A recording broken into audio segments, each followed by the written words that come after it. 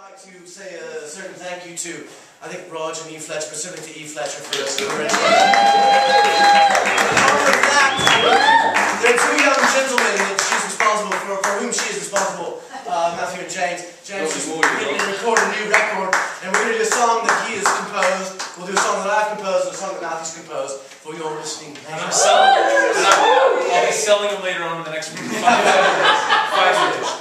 Uh, this is, it's called, it's Booze called and. Booze and Clocks. Soundtrack. On.